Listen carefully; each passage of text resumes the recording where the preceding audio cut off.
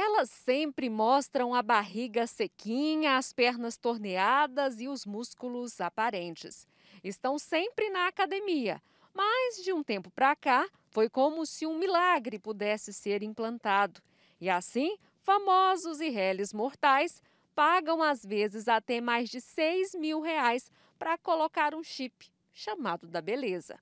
Mas a prática é totalmente condenada pelos conselhos de medicina. Não tem nenhuma finalidade científica. E medicina é a arte, a ciência de prevenir e curar. Tem que haver comprovação científica para o uso dos medicamentos. O chip da beleza é um dispositivo pequenininho implantado no corpo para liberar continuamente hormônios como a gestrinona, esteroide com ações anabolizantes.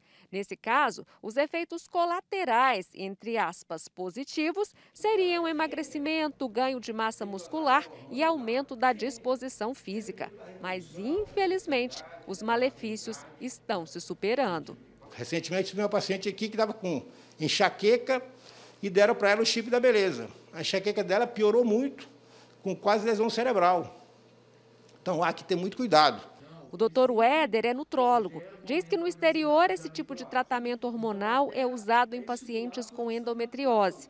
Aqui poderia ser feito numa transição de quem está usando anabolizantes e quer ter uma vida mais saudável, mas nada de uso para fins estéticos. É muito comum chegar paciente que está usando remédio comprado na academia, né? é anabólico pirata.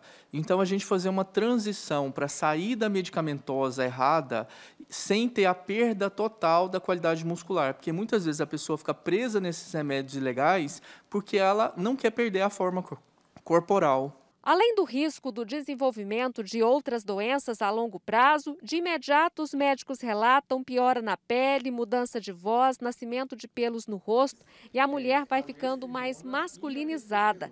Só essa última característica indica que o tratamento não está certo, porque ela vai se transformando em algo que não é da própria natureza. A mulher é fêmea, o hormônio dela é o estrogênio. E o homem é macho, o hormônio dele é androgênio. Aí, se for repor alguma coisa por deficiência de doença, de patologia, aí a ciência está correta. Né? Estrogênio para as mulheres, androgênio para os homens.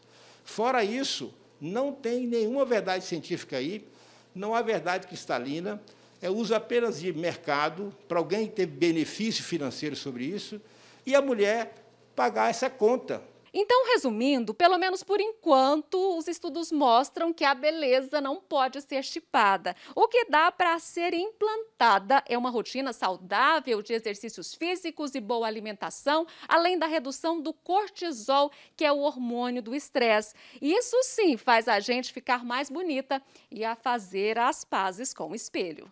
O caminho sempre foi o mesmo. A gente é que acha ruim ele, né? Mas o caminho tem que passar por uma dieta equilibrada, é, por uma, um estudo metabólico ajuda sim, também, porque se a gente reduzir os hormônios que atrapalham a testosterona natural, vai fazer com que a pessoa fique mais disposta, mais forte, treine mais. Mas esse caminho tem a ver com alimentação, com treino, com hábito de vida saudável. Uma boa análise hormonal do organismo aliada a fitoterápicos pode dar uma ajudinha. Por exemplo, o Tribulus terrestris é uma planta fitoterápica que ajuda a gente a ter um pouquinho mais de testosterona natural e ganhar um pouco mais de massa muscular, sem ter que ficar usando hormônio.